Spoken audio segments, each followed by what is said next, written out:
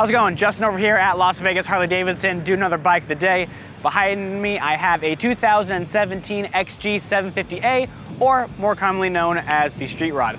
Now, they did discontinue this bike in 2020. However, we did see it for a few years, and it is kind of a cool bike, so I just want to take a second to talk about it. Now, it is on the Revolution X power plant, um, which I know a lot of people are familiar with that, and it does come with some nice extras from the factory. Inverted front end, tall piggybacks in the rear, you know, it's got a lot of ground clearance, gives you all the lean angle in the world. It's got a really cool Vance Hines exhaust on this specific bike, and this one actually only has about 1,800 miles. We just did a full service, put some new shoes on it, and she's ready to rip.